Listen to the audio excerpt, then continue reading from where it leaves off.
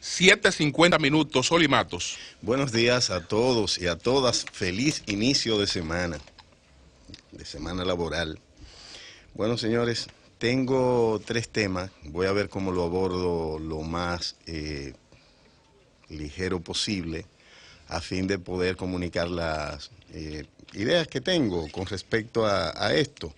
Uno es sobre un tema que se ha manejado durante todos estos meses y es eh, la posible reforma a la ley de salud. Nosotros somos defensores de la ley de salud, incluso hemos cuestionado el que la ley general de salud o dos leyes que son fundamentales en la aplicación de, de la seguridad social en la República Dominicana no hayan sido aplicadas en sentido general, sino que eh, hayan sido troncadas por, según los datos que tenemos, falta de voluntad y mala gestión. De, y hablamos falta de voluntad, de voluntad política de los actores políticos en la República Dominicana, y creo que han sido las leyes más revolucionarias que hemos tenido en la República Dominicana. Y hablamos de las leyes eh, en materia de, protección del ciudadano.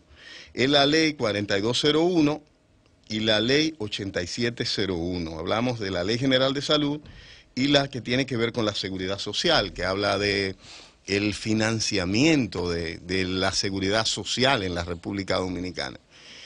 ¿Y por qué nosotros traemos estos temas? Hablamos la semana pasada con el director del sistema o del Servicio Nacional de Salud y nos narró una idea, ¿no? nos planteó un, un, evento de muchos que ocurren en la República Dominicana. Pero ¿qué hacen los países que planifican políticas y que tienen estructura gubernamental eficiente de participación?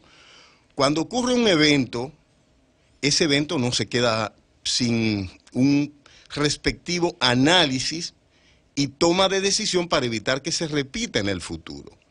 Y él nos hablaba de un autobús lleno de señoras embarazadas del vecino país que llegó a un hospital eh, y el hospital quedó desbordado en sus capacidades para hacerle frente a esta situación. ¿Qué decisión tomaron las autoridades dominicanas?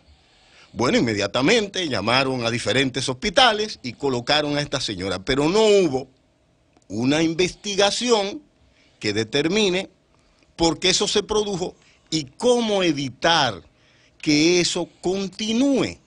Es decir, imagínese usted, para ponérselo en un escenario particular, que eh, una, uno de mis hermanos que tiene eh, alrededor de, eh, tiene, creo que tiene entre 10 o 11 hijos, y que estos muchachos vengan todos para mi casa, ya la mayoría de ellos tienen hijos también y familia, se aparezcan todos en mi casa. Entonces yo, el presupuesto familiar, tengo que dedicarlo a buscarle hoteles donde ellos se acuesten y donde ellos pernoten en los que vinieron todos a, a mi hogar.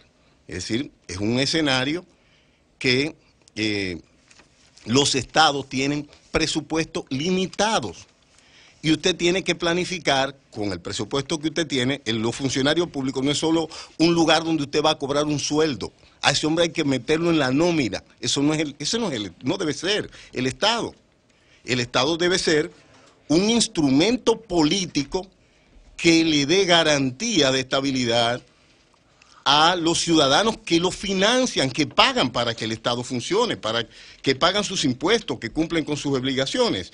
Y estas personas que están bien descritas en esta ley de la que le hablo, la ley de la seguridad social, eh, son las personas que están eh, económicamente activas, es decir, que tienen, que son productivas, que están dentro del sistema eh, laboral, que tienen trabajo. Estas personas que tienen trabajo y que están dentro de, de la del, de lo que llamaríamos eh, productiva, en, actividad productiva contratada, son funcionarios privados, funcionarios públicos, todos están contemplados formar parte del sistema de salud. Ahora, ¿dónde ha estado el error y por qué la República Dominicana, disponiendo de mayores recursos de lo que demandaría según expertos, según expertos, para ofrecer un sistema de salud eficiente, sobre todo el servicio básico de salud, a todos sus ciudadanos, no lo hace, porque aquí nos hemos dedicado a financiar, la, a subsidiar la oferta, no a subsidiar la demanda. Es decir, ¿quiénes debían tener subsidio?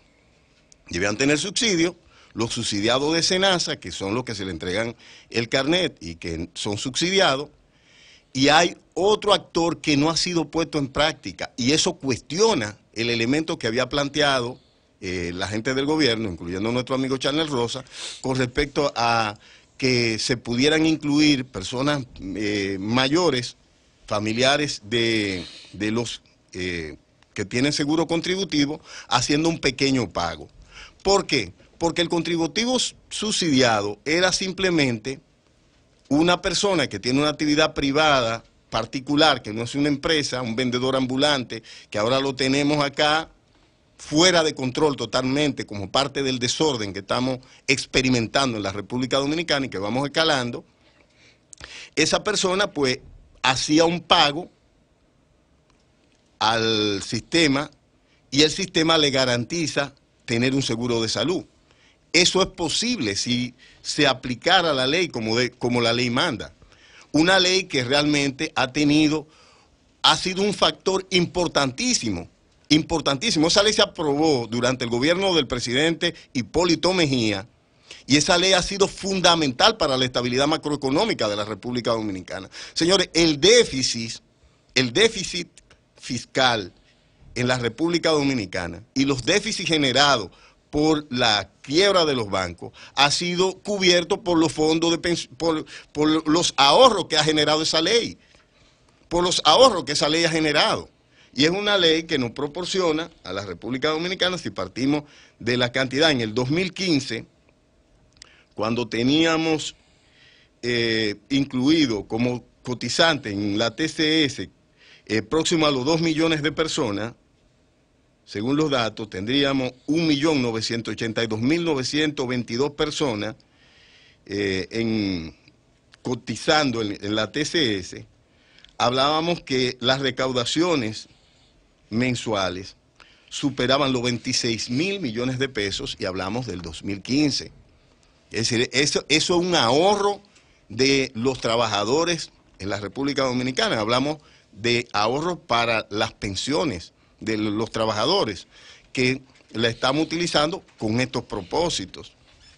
Entonces, ¿qué es lo que nosotros queremos llamar? Yo creo que lejos de modificar esa ley, lo que la República Dominicana necesita es hacerla cumplir, porque la estamos modificando sin siquiera hacer el intento de hacerla cumplir, sin siquiera hacer el intento de hacerla cumplir.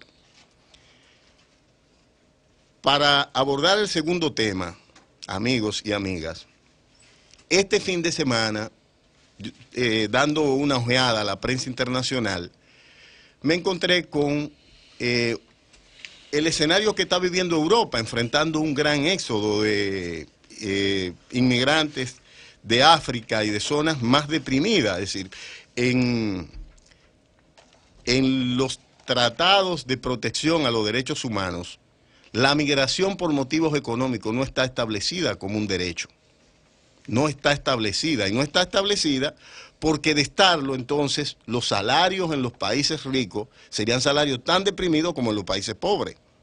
Es decir, las sociedades que quieren generar equilibrio y no acentuar la desigualdad, tienen necesariamente que tener controles migratorios, porque es la única manera de usted garantizarle al que depende de, de porque el que tiene dinero, el que tiene fuerza, el rico, puede agenciarse lo que el Estado no puede suplirle. Pero el que no tiene recursos, el que trabaja y simplemente tiene lo básico, necesita que la sociedad funcione, que haya un Estado que funcione.